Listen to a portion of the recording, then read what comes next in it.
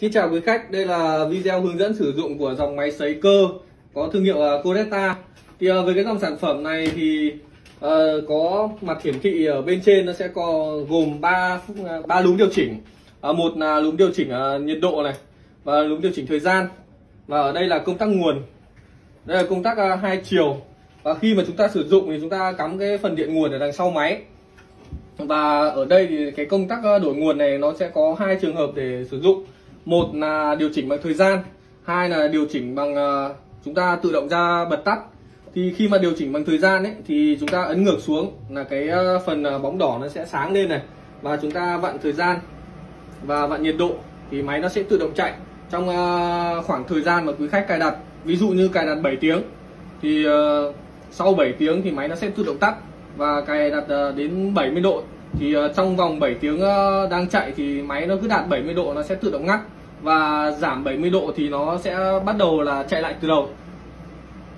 Thì uh, với cái dòng máy với cái dòng máy này thì nó rất là thích hợp sấy như hoa quả khô bò khô.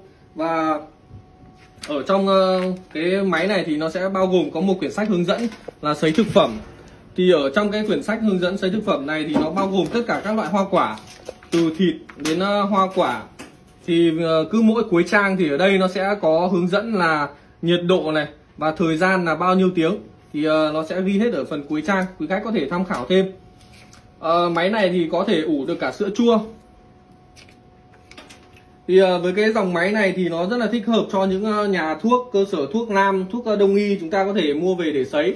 Và những cái cơ sở như cơ sở sản xuất đồ khô hoa quả sấy hoặc là thịt khô và những cái Ờ, thực phẩm như là mứt sấy gà khô thịt bò sấy thì chúng ta có thể ờ, sử dụng bằng cái sản phẩm này nếu mà quý khách mà có nhu cầu mà nên uh, nhu cầu sản sử dụng sản phẩm thì có thể liên hệ với chúng tôi qua số điện thoại uh, 0912 863 364 và số điện thoại 0928 207 007 và số điện thoại miền Nam là 0868 998 663 để chúng tôi có thể tư vấn trực tiếp cho quý khách. Cảm ơn quý khách.